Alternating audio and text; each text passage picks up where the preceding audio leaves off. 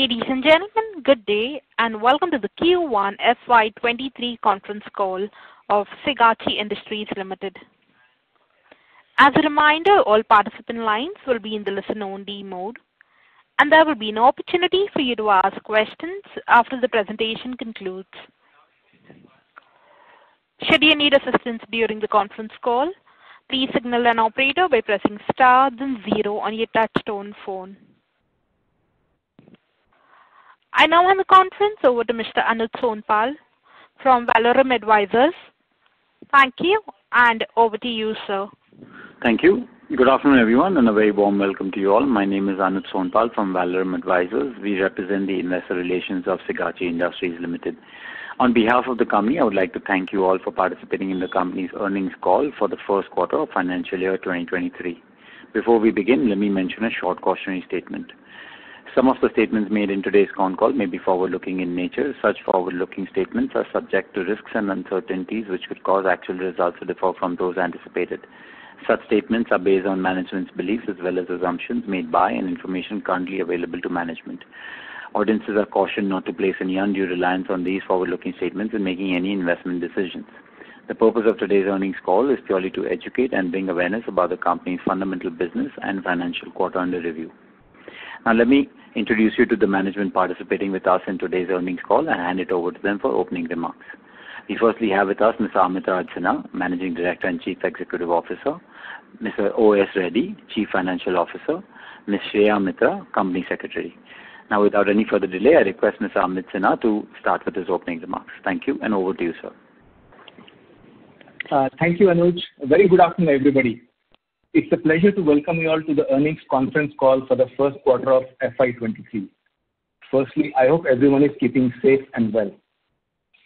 In the interest of some of the people who are new to the company, let me first start by giving a brief overview of the company. After which, Mr. O.S. Reddy, our CFO, will brief you on the financial performance for the quarter under review.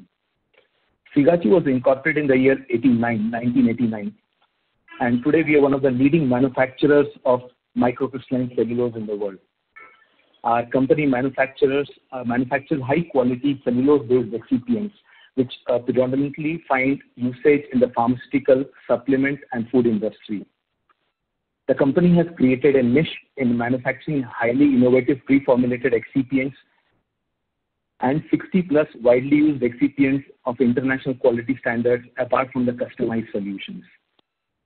From our state-of-the-art R&D facility, we ensure continuous innovation to efficiently meet evolving customer demands. We have two manufacturing facilities in Gujarat and one in Telangana, from where we ensure supply chain reliability for our customers in India and across the globe. Our total capacities from all these three facilities is more than 13,000 metric tons per annum, Uh, which we are further enhancing through our ongoing CapEx plans to 20,000 metric tons per annum.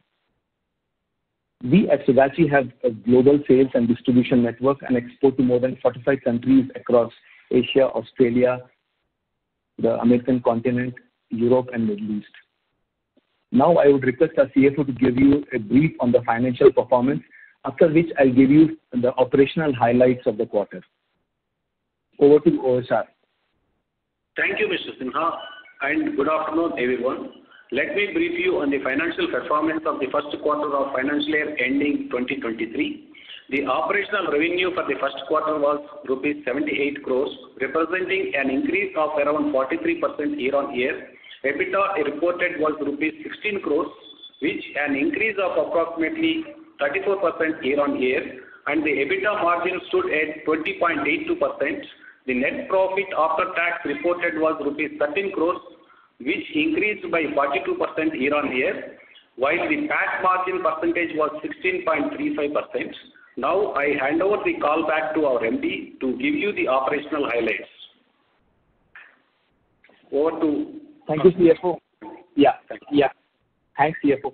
So on the operational front, uh, the revenue growth was primarily driven by increased demand for MCC across all the industries, with a volume growing at approximately 10% and realizations at 19% on a Q-on-Q basis, quarter-on-quarter basis. The export sales increased to 75.43% in Q1 FY 2023 as compared to 73.6 in Q1 FY 2022.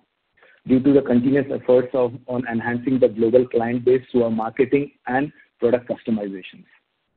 We focused on high-margin yielding product mix with cost-effective manufacturing processes and effective management of inventory, which resulted in improvement of EBITDA and profitability on a quarter-on-quarter basis.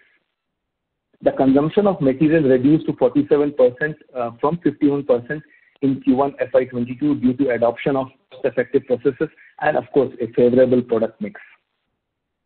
We expect this trend to continue in sustaining the profitable levels. Furthermore, capacities of around 7,000 tons will be added during the later part of FY 2023, which will contribute to additional revenue growth in the coming financial years. We are also putting high focus on our R&D capabilities through cost-effective manufacturing processes, thereby remaining as the manufacturer of choice and supplier of choice in the excipient industry. With this, uh, we are now open on open the floor to the question and answer session. Thank you. Thank you. Ladies and gentlemen, we will now begin with the question and answer session. Anyone wishing to ask a question may please press star and one on your touchtone telephone. If you wish to remove yourself from the question queue, you may press star and two. Participants are requested to use handsets while asking a question. Ladies and gentlemen, we will wait for a moment while the question queue assembles.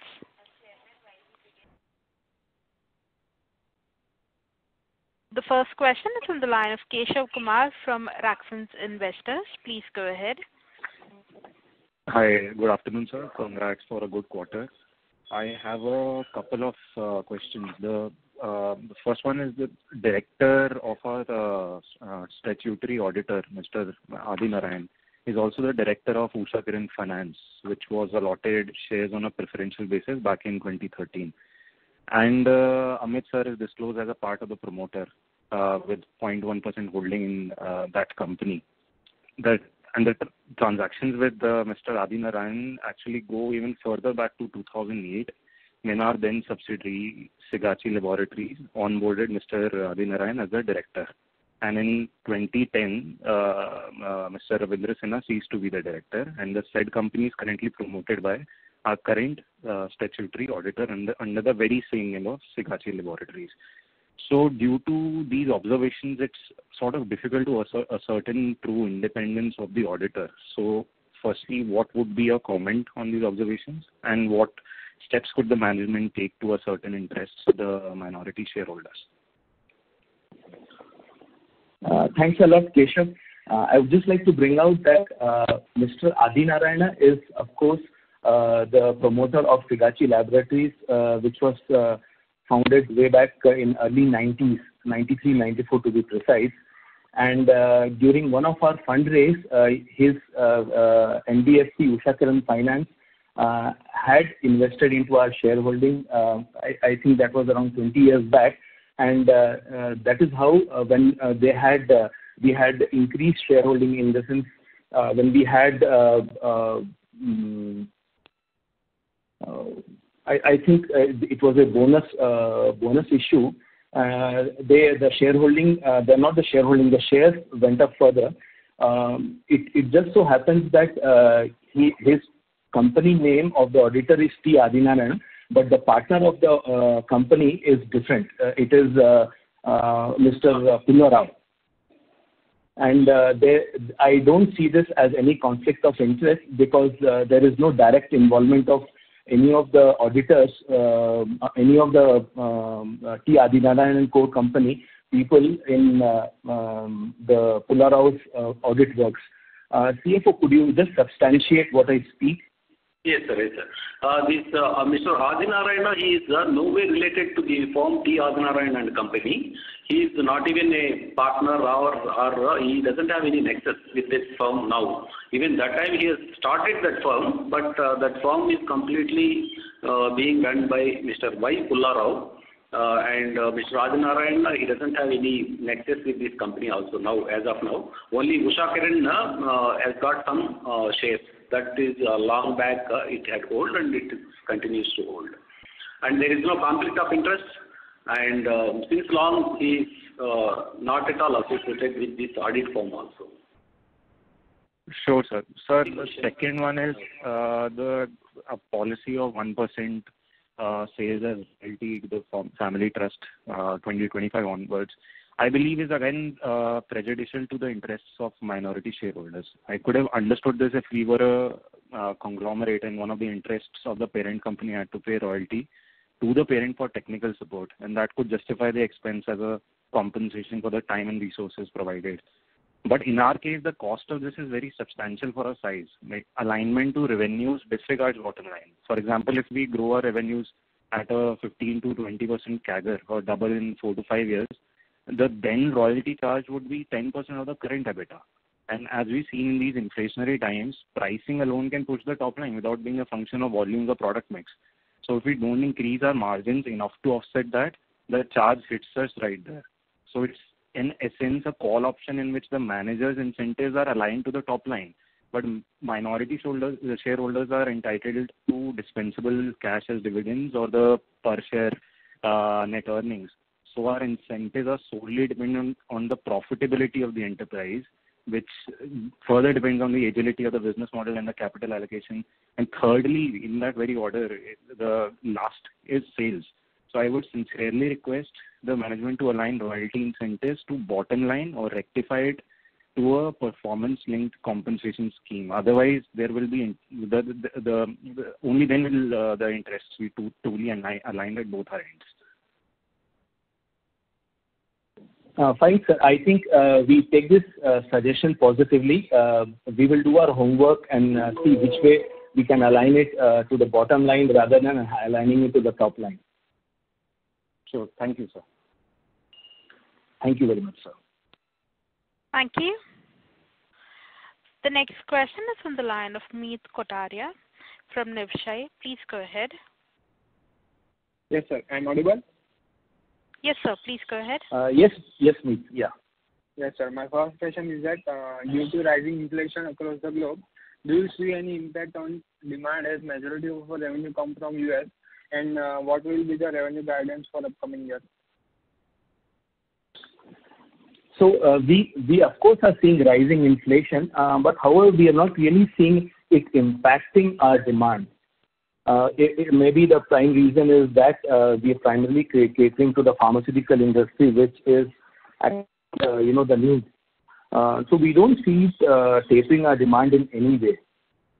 In the U.S., in fact, our the sales have been pulling up much more. So we don't see it tapering down just because of inflation. Yes. What will be the revenue guidance for upcoming year? Uh, we believe that uh, uh, whatever has been a CAGR over the last three years, we would be able to continue to maintain it, sir. Yes, sir. My next question is that our competitor like Gujarat Microwax have more margin than yours. Like in FY 2021, their margin, EBITDA margin like 30%. And in FY 2022, they also have 23% of margin. So any chance that our margin will improve further? Uh, well, sir, uh, you have certain details of our competitor. Uh, could you just bring out those details as to which way the margins seem better than Sigachi? Just just for information, while OSR digs into the details, we had done this analysis around a year back when we were going public. And what we saw was that our margin percentage over the product MCC was better than their product. Uh, now, uh, it so happens that uh, JRS has an additional product by the name of croscarmellose sodium, and there the margins are much superior. So if you compare all in all, you would see that Gujarat Microwax, the margins are better than Sigachi's. If you just compare their product portfolio of MCC with our product portfolio of MCC, we are definitely better off than them. Yes, sir. OSR, you'd like to add in anything? Yes, yes, sir. Uh, to supplement it, uh, in future, uh, we are going to manufacture these other MCC, even CCS and other complex excipients also. Thereby, our margin also, we hope it will increase. Okay, sir. My last question is that. We have analyzed their um, profit also. They manufacture along with MCC, they manufacture CCS and other small other excipients also. That's why there is a higher margin is there for them. Even going forward, we hope Sigachi also will uh, uh, end the margin. Yes, sir. And my last question is that, uh, what is the current realization for the product and what is the impact of wood pulp pricing?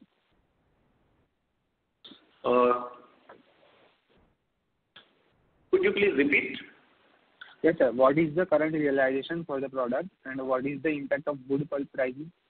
Uh, yeah. Current realization is uh, for first quarter it is uh, 216, around 217 rupees. Last year it was 182 rupees. And going forward, this will increase further. Yes. And any impact on impact of wood pulp pricing? Yes, I would answer that. So, what we have seen, sir, is that at this moment we are able to pass on the Uh, increased pulp prices onto the customers. Uh, so uh, that's a very big comfort.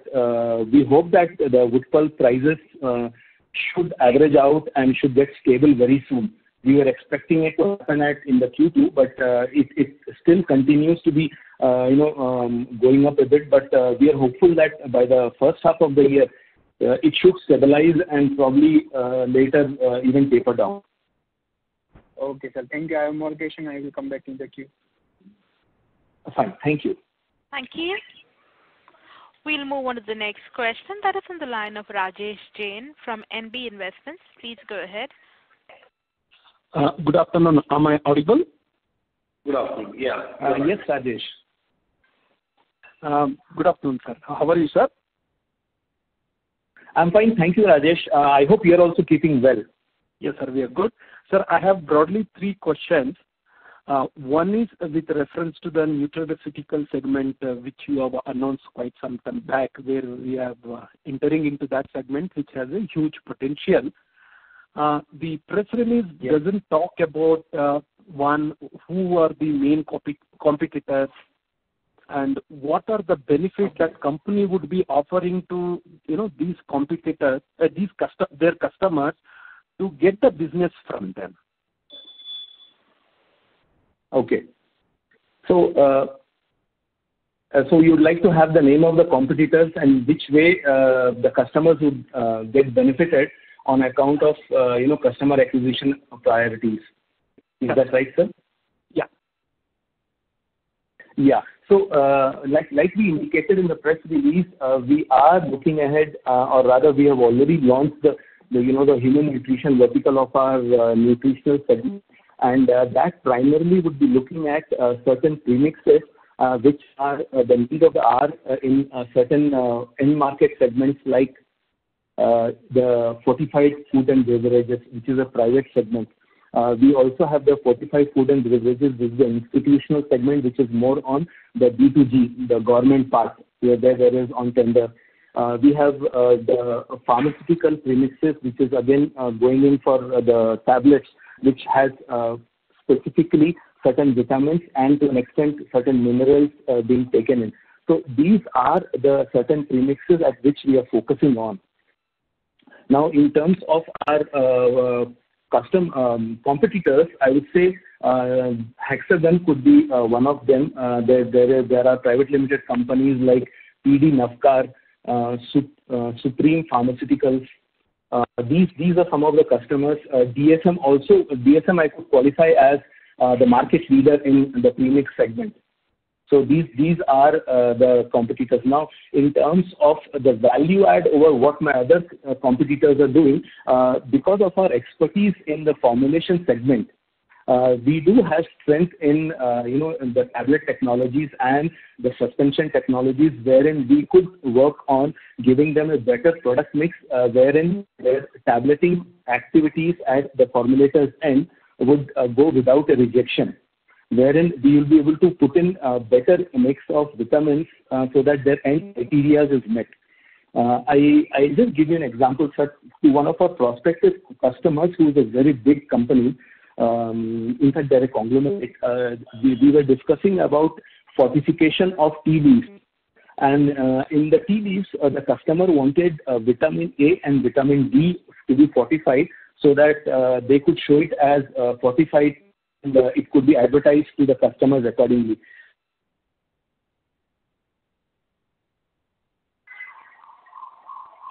Hello? Hello? Uh, Mr. Jain, are you done with your question? Yeah. Yeah, I have. Uh, Sir, okay. In Further to this uh, product segment, uh, I was told that, you know, these new products uh, have MCC as one of the constituent. So does it mean that are we supplying, you know, MCC also these, to these customers earlier? To these customers, we are not selling directly, uh, but uh, we sell to the agents, but they may take it from them. But uh, we are not selling to these people directly. We were not selling. Okay. The purpose of asking that question was, once you launch these products, do we have to conduct testing or trials for this new product with these customers? Yeah, yeah. Yes, we need to do it. Okay. So sir, how much time will this take for the product to commercially launch? Uh, it will take, uh, maybe, uh, immediately we can do it, but only trial it will take, as a trial order we'll provide, and they test the quality test and all. If that is okay, we'll produce. It will not take much time, even not more than even one day or even 24 hours or even just within two days, 48 hours max. It depends upon the product, how many stages are there like that. Even in 12 hours also we can complete the trial and a maximum of even uh, 72 hours. Very good. 40-72 hours on higher side. For this product is same as at the same level as the MCC, and how much revenue can be expected in the next two to three years? Yeah. MCC also is uh, part of this uh, material, that product. And you are asking something else? Uh, no. Uh, margins.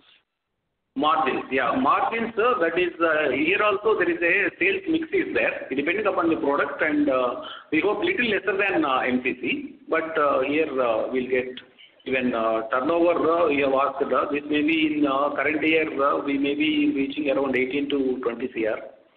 Okay. That is it. And how big is the potential, sir? Let's say three years or five years down the line, can we go up to 100+ crores in this segment alone?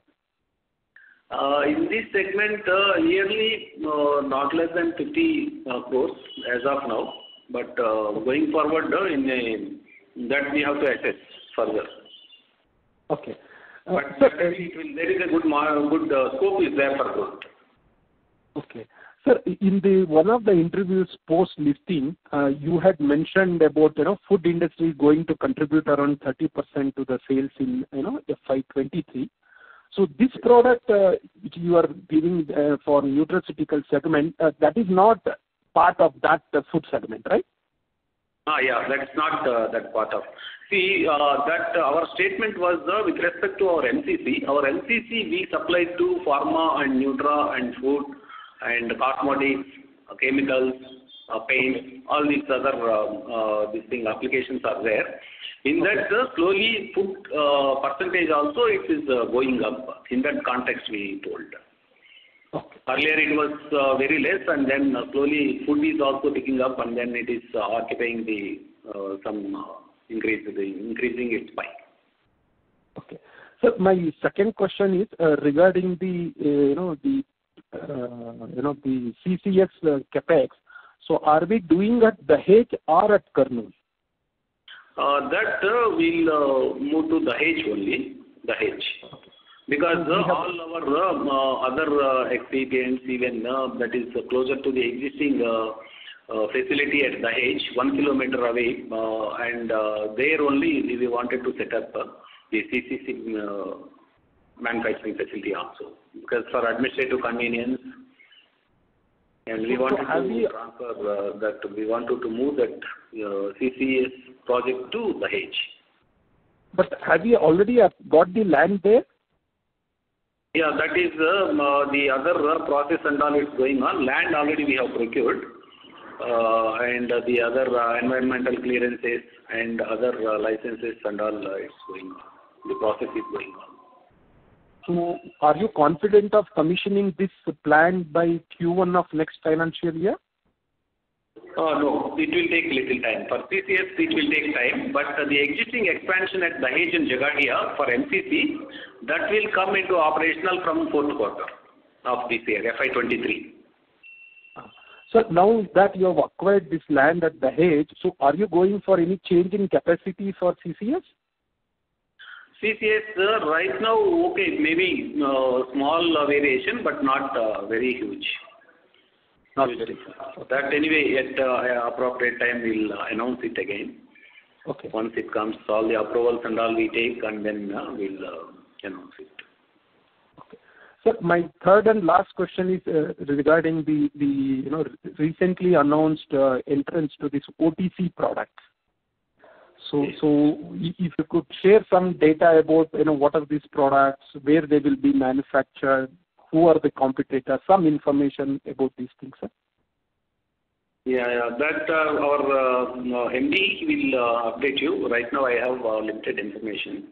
Uh but in this OTC, that also we'll make an announcement, and then you'll get the more details. For time being, we'll defer that question. Okay. But uh, are we expecting any sales during this current year and next year?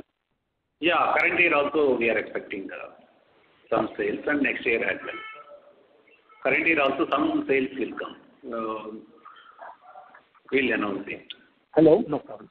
Hello. Yeah. Current year also, we are expecting some sales. Okay.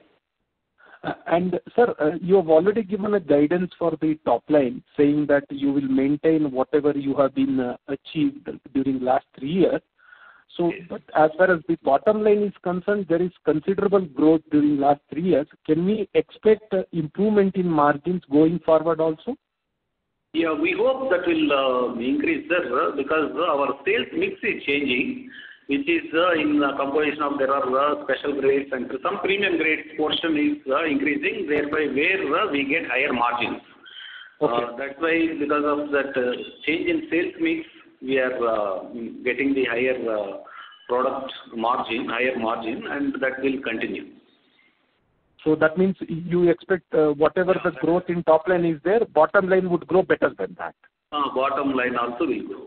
At least uh, there is definitely there is a sustainability in uh, uh, bottom line profit, and we hope it will increase further.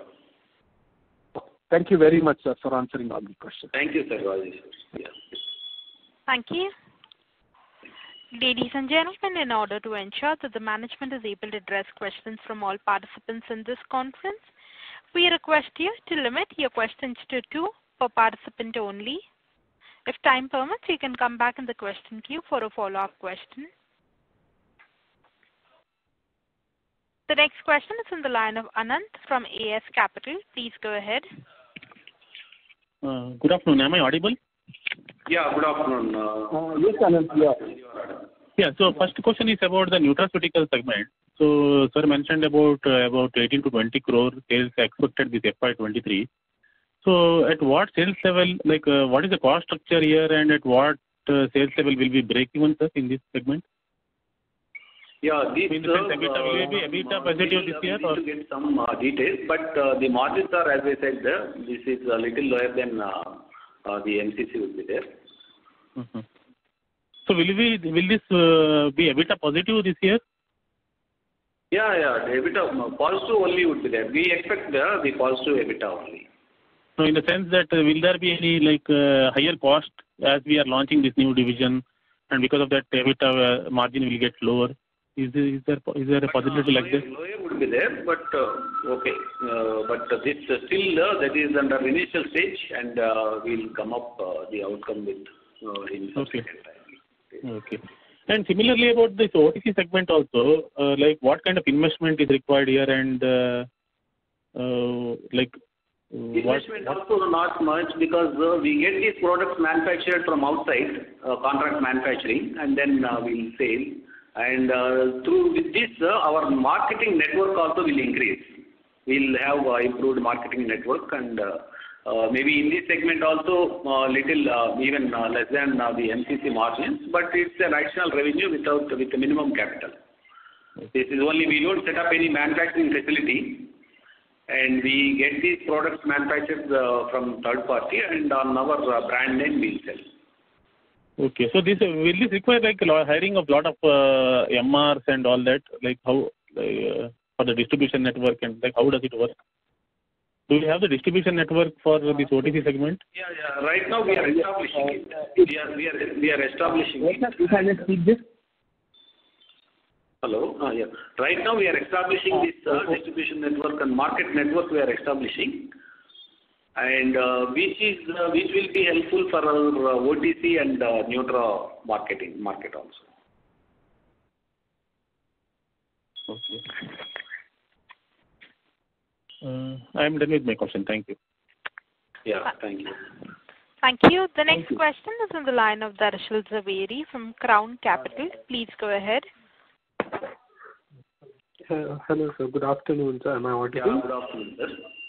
Yeah. uh, So Yes, congratulations. you are audible. Yeah. Congratulations on a good set of numbers, sir.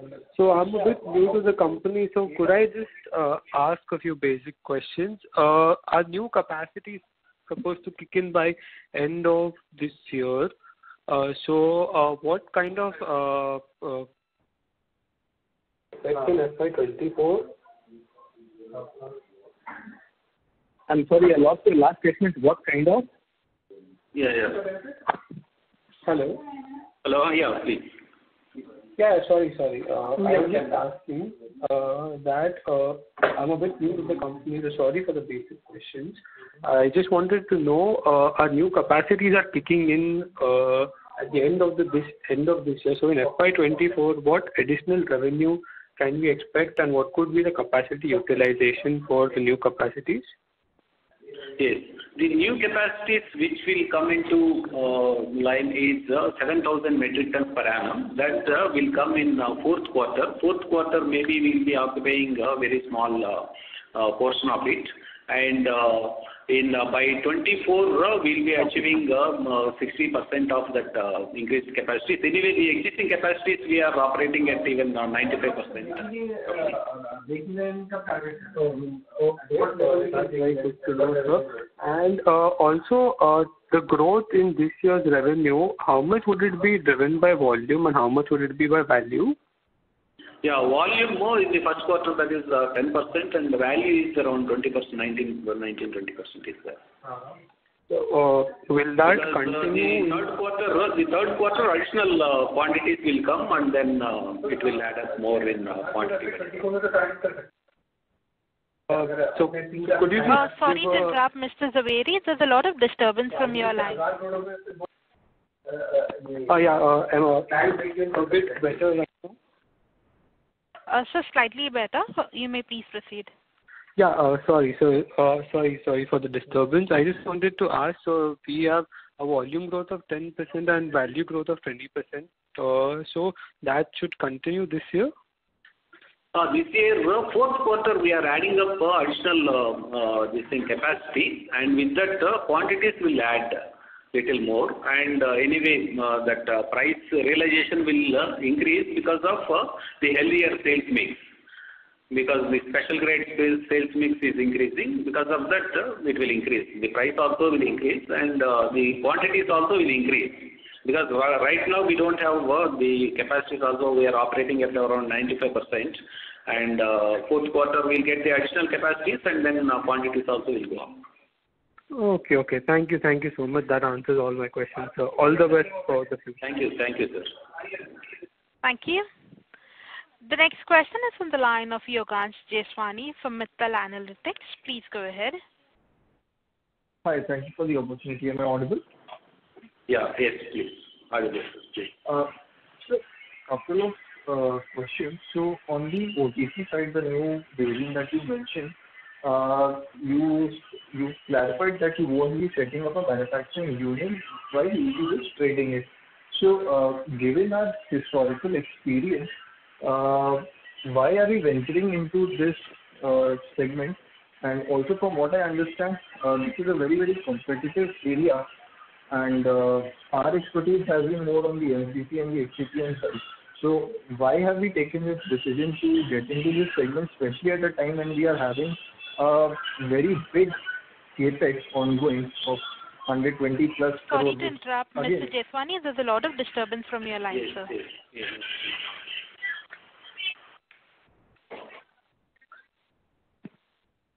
Hello? Yes, sir. Yes. Is it better now? So slightly better. Yeah.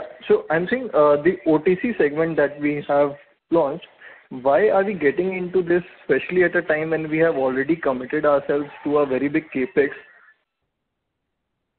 Yeah, that uh, CapEx anyway that is uh, going on. This uh, existing MCC expansion is going on, and CCS also, croscarmellose sodium also that will go. And apart from that, this OTC or this nutraceutical, this marketing network is required, and then even that marketing network will help for further increase in sales of MCC. Uh, That's why here we are not uh, setting up of any manufacturing facility. Uh, Only we get it manufactured from uh, outsiders, uh, contract manufacturing we do, and then uh, we sell our products. And Right now, for the initial basic information and then after our complete study, there is some uh, uh, decent margins are there. But Okay, anyway, um, uh, we agree that uh, there is uh, less than uh, the MCC margins are there. But Anyway, we don't we don't have to incur any CapEx. and We get uh, some margin which will uh, add to top line and bottom line as well. Right. No, I agree on the, uh, I I agree on the part wherein you say that there is no CapEx, my limited point or uh, clarification that I need is uh, at a time when we are already, you know, uh, putting up a huge CapEx, which obviously will take in a lot of management bandwidth and energy in establishing this, because, again, bringing in a new product like CCS and then also almost doubling our capacity in MCC, that itself will take a lot of time and effort and energy and money. So then at at such a time, why bring in a new uh, segment which per se is not a very, uh, you know, high margin or or a very interesting segment? So Yes. any Agree. any specific yeah, if I may points behind that uh, any- answer, uh, what's up? This is- ah, Yes, sir. Uh, Yes, uh, if I may answer this, sir. Am I audible? Yeah, yeah, you are, sir. Yes, yes, So, uh, like you indicate that a significant bandwidth of the management is going into uh, the CapEx and the added capacities. Uh, I would say, of course, there is a reasonable amount of bandwidth going, but it is not that we are on the job. We have team members. We have a total strength of 900 people in Sigachi, and there is a specific hierarchy, and there are team, managers and you know VPs who are taking care of their respective part and sections. So uh, it is not that uh, I physically have to go and review which way what's going on. Uh, so it's not that uh, there is a limitation on the bandwidth. Uh, my uh, second point would be that you know MCC we have matured out and we are among the leaders and by virtue of being that we are able to command a specific premium and of course have a reasonable EBITDA. Uh, likewise, uh, when we get started in the other segments, of course, it will not be as good as uh, the excipient industry what we are today. But our overall objective is that we get into the B2C space because uh, B2C space in this segment, there is bound to be growth coming in. In fact, it's already post-COVID, there has been a lot of change in the consumer behavior. And we feel that we have the inherent competence to take advantage of this by having certain products which are aligned to the customer needs uh, in line with our R&D and capability and the competence and uh, be able to push this into the market. When we take our baby steps, uh, we of course will not have such margins, but going forward as we expand, have brand extensions coming out of whatever we sell, we are bound to be getting into positions where we'll be among the top few and thereby we will be having a reasonable level of margins our overall long-term objective is that we remain ahead of positive of the 20% EBITDA what we have been uh, having all these years. All right. Uh, That's really helpful, sir. So my second Sorry to question... interrupt, uh, Mr. Jeswani. May we request that you return to the and question? This is just my second question. Uh, Sir, there are participants waiting for their turn. Sure. Thank you. The next question Thank you, sir. The next question is on the line of Darshit Shah from Nirvana Capital. Please go ahead. Yeah. So my question is to Mr. Amit. Uh, So, uh, we spoke about JRS numbers, and I understand JRS the contribution of CCS is almost 50%, and that's the reason the margins are higher. Now, if you look at another company which we digged a little deep into, that's Signet Excipients. Uh, I'm not sure mm-hmm. whether they're manufacturing here or kind of trading. They are now 70% held by IMCD India. And their MCC uh, sales, if you look, uh, the realizations are quite high, around 6 lakh rupees per metric ton. So mm. any mm-hmm. Mm-hmm. thoughts or idea you'd have about that, why the realization is so high for the MCC sales? Yes. Yes, yes, Mr. Darshit. I'll just tell you, uh, Signet Corporation uh, was a trading house, and mm-hmm. um, uh, they had some of the you know, the leaders as principals. So they had DuPont as one of their principals, and they had India, India, Bangladesh, and Sri Lanka as their regions. So they were actually importing the finished products, stocking it, and selling it out to the local industry in India. Uh, now, uh, because they were having leaders in the industry, leaders, DuPont is uh, the number one player in the industry, they had different different pricing, you know, the industry leader-level pricing. And that speaks about the reason that they have certain average realizations which are better than us. Now, on the second part of the question where they it shows as approximately 6 lakhs per ton, Uh, I believe that it's a combination of a lot of other excipients uh, which kind of uh, are being sold together under the broad name of cellulose-based excipients. So they're not really a manufacturing house. They are a trading house. Okay. So yeah. So you mean to say that because of the MNC kind of profile they have, while they get products from DuPont and all, the pricing uh, uh, hmm. varies a lot. So would it be uh, fair to assume that, I mean, since we kind of also cater to domestic and market here, and earlier I understand that you said the product profile more or less is not that different when we kind of either we sell or probably any other competitor sells. So in this case, would it be fair to assume that the realizations would be different if you kind of the products are imported Uh, if you're uh, catering the same domestic market? Um, so uh, when when it is the world leaders who are selling it locally, they have a different price point. I think one would agree to that. Um, the second reason that it looks a bit enormous or big in size is on account of the depreciated rupee. Uh, because you know uh, you're converting it into the rupee form. What we when we look around, uh, we usually see that they are a notch higher than our pricing in dollars. And if the product mix, what they sell is better, then they go a couple of notches higher. Okay. Got it. So the prices are a bit higher for them than what we kind of sell in domestic. That would be a fair assumption? Yes. Yes, yes. Uh, because they are leaders, uh, they manage to extract that price from the big players, and sometimes big players discount out the local strength of uh, industries here, and they believe that importing from the leaders would give them an edge by spending a bit more. It's nothing else. There are so many customers where we have kind of displaced the top number one player in the world, and we continue to be supplying them even today. Got it. So would you kind of uh would we kind of uh kind of dig deep into all these clients? Because if you look at their volumes, what they did a year back was somewhere around 8,000-9,000 metric tons. So can that be an addressable market also to us in India, or you think the customer profile is completely different than what we can cater to? Your second statement speaks the answer, that their customer profile are primarily the innovators. And historically, innovator uh, innovator companies have been working with the world number one. Uh, we have been trying to get into the innovator um, companies, uh, but it is still work in progress. And um, their customer profile is primarily the innovator, whereas ours is more to do with the generics.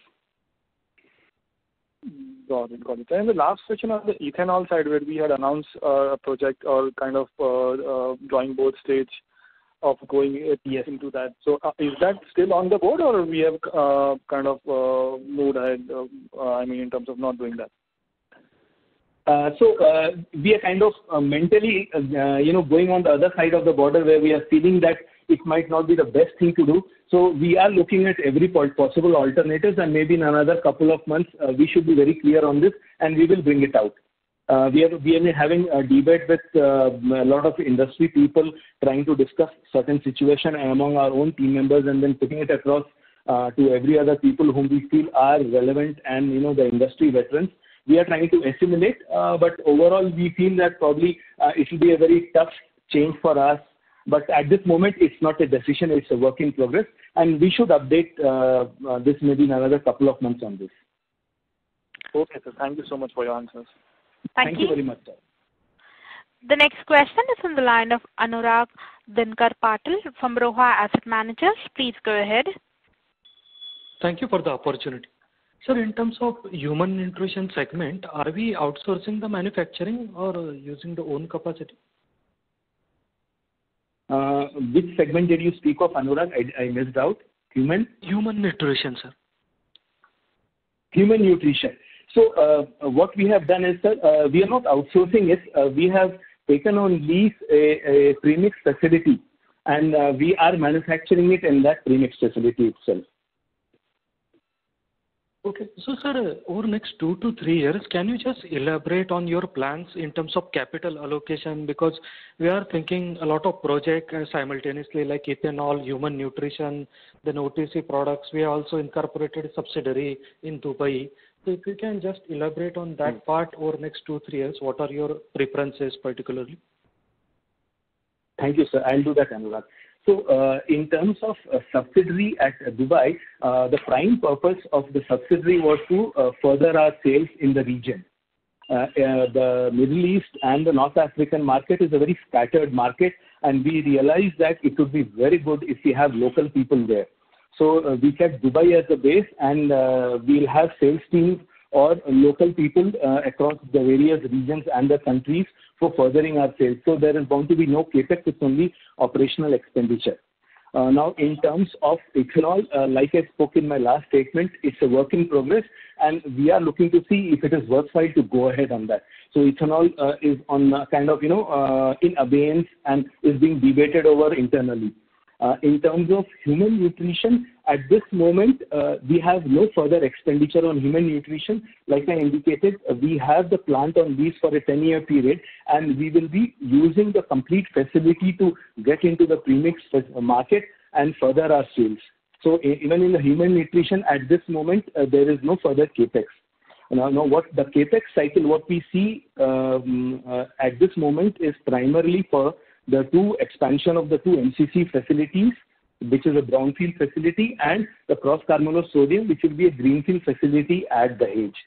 Uh, as regards the OTC, uh, because we are a kind of, uh, you know, the healthcare, we are launching the healthcare, we are having it contract manufactured from some trusted, good, reputed players in the North Indian region.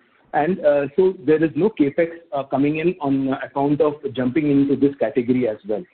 Did I answer your question, Anurag? Yes, sir. That answers my question. Thank you very much for a detailed answer. Thank you. Thank you. The next question is from the line of Vignesh Iyer from Sequent Investments. Please go ahead. Uh, hello. Congratulations on good, good set of numbers. In such challenging circumstances.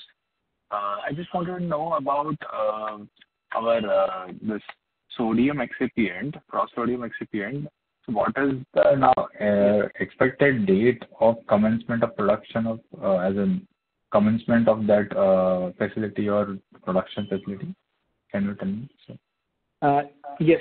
So Vignesh, we are in the current process of getting the EC clearance for our the Dahej land, which we have acquired recently.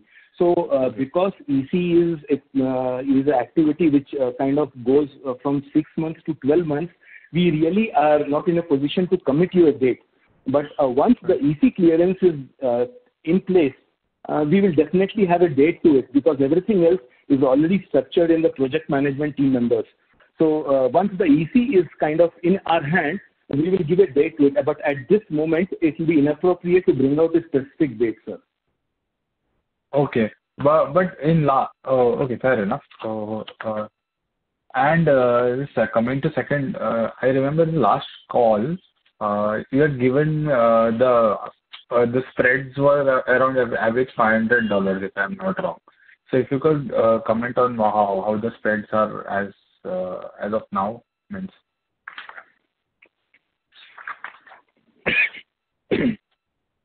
Okay.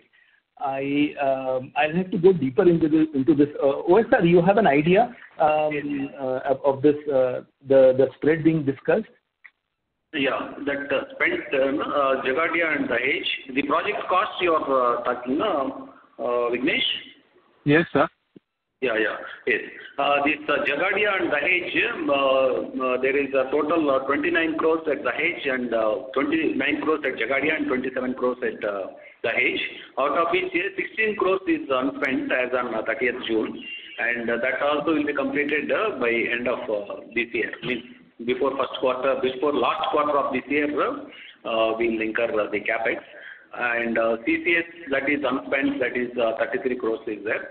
The total unspent amount that is lying in fixed deposits with banks. No, no, sir. Means I asked about the product spread that we had discussed in the last quarter's phone call about the product, how the spreads were turning to be. You said it would be somewhere around $700-$900.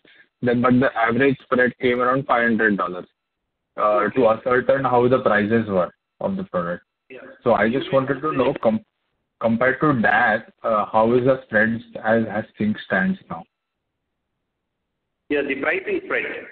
Ah, yeah, yeah. Pricing. Yeah, the uh, pricing, uh, last year it was 182 average, and uh, this first quarter, we have achieved 216.79. Hmm. And going forward, it will further increase.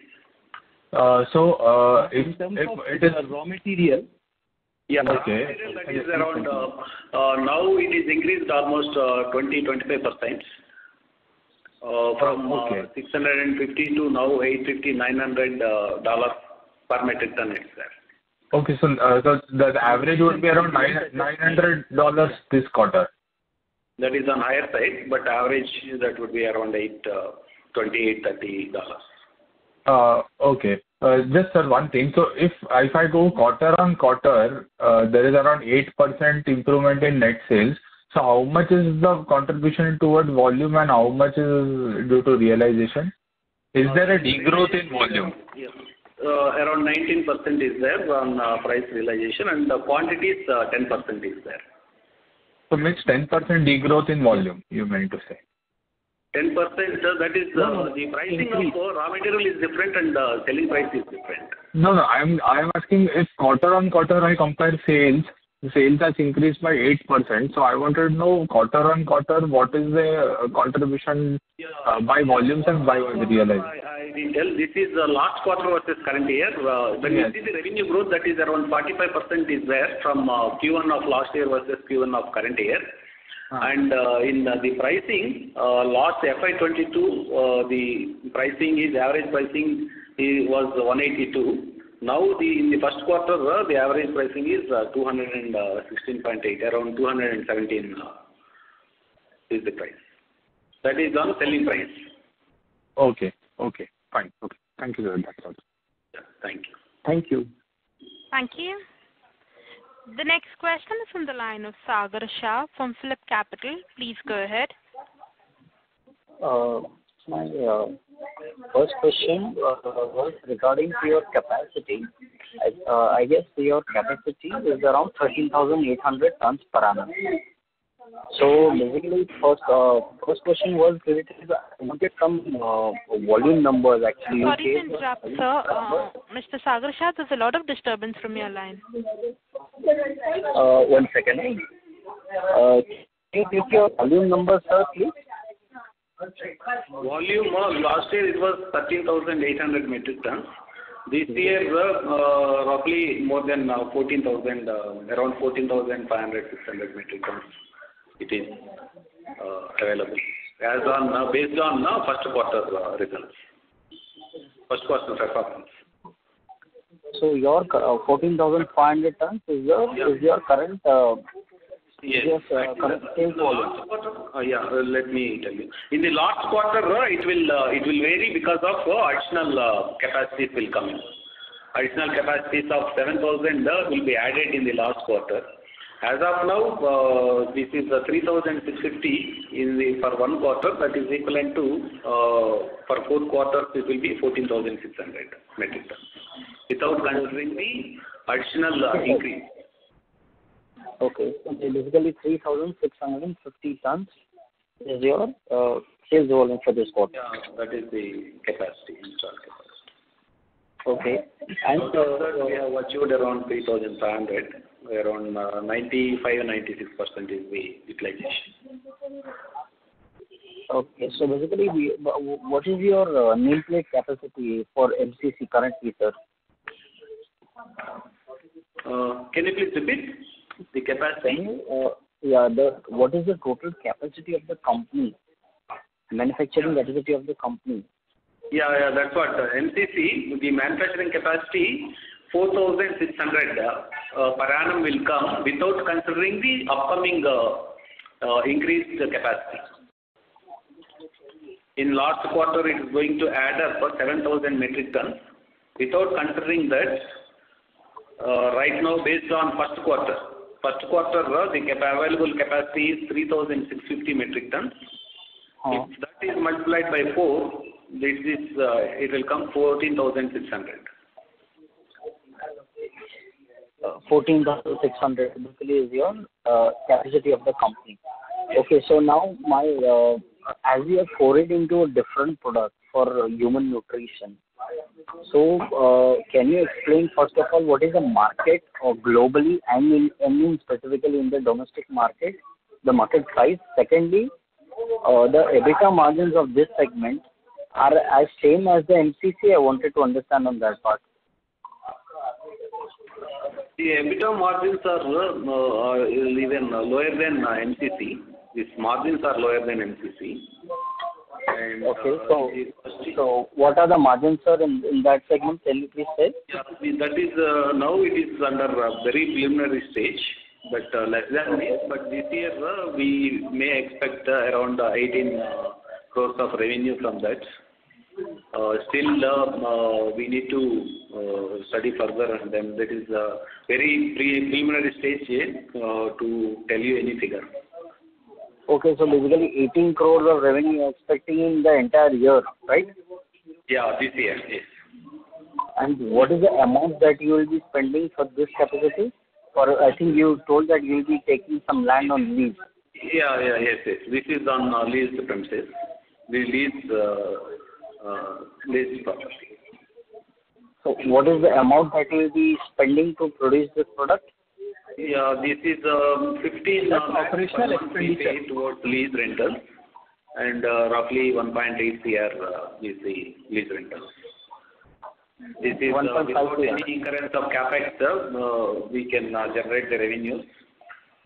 And uh we explore our market networking also with this and OTC. That is an additional advantage to enter into a B2C segment. Yeah.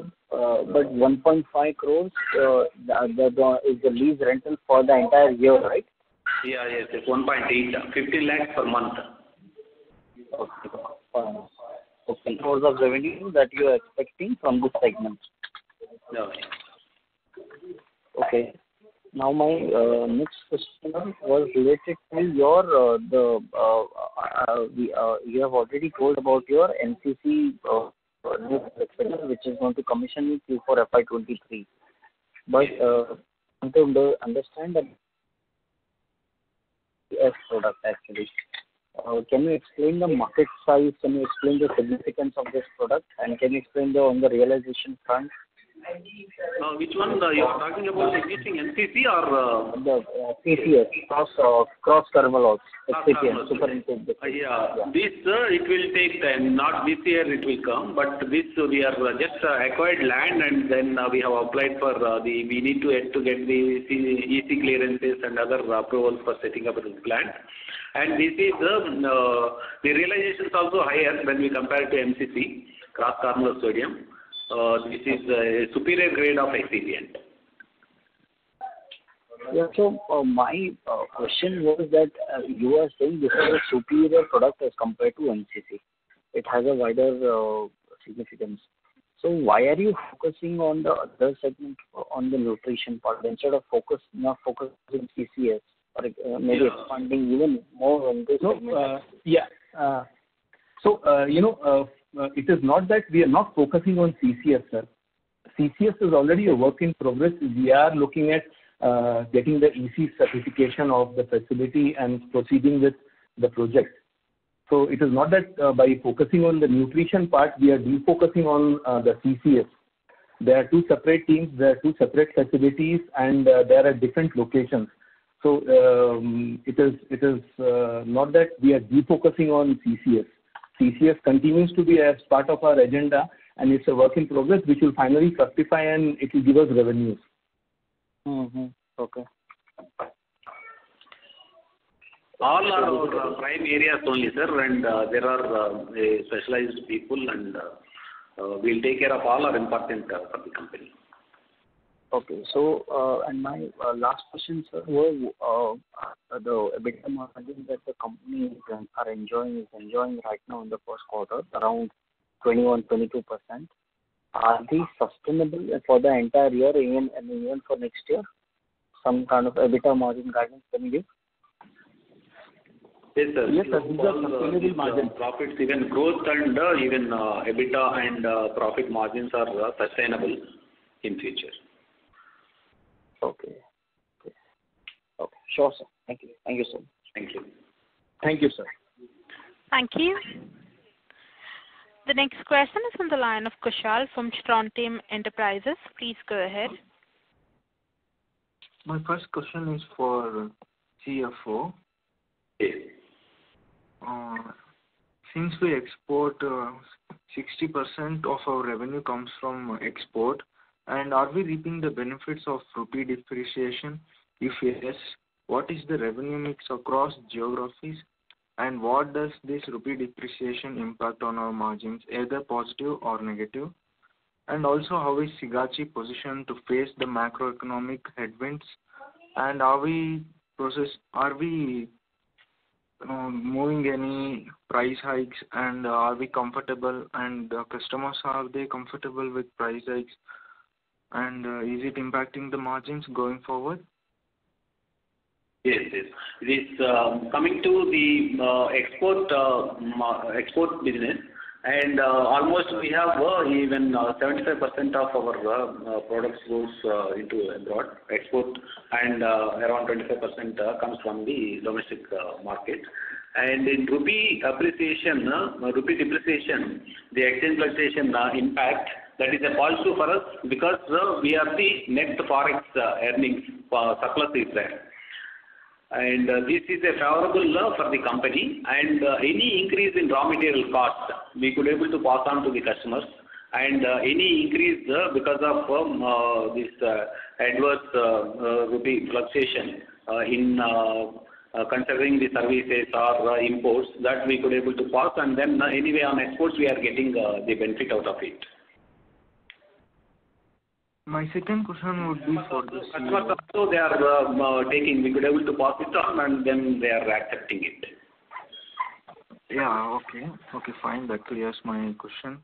My second question would be for CEO. And in the recent interview with Economic Times, you have said that the nutraceutical segment revenue would be 20%-50% of total revenues in the next two years.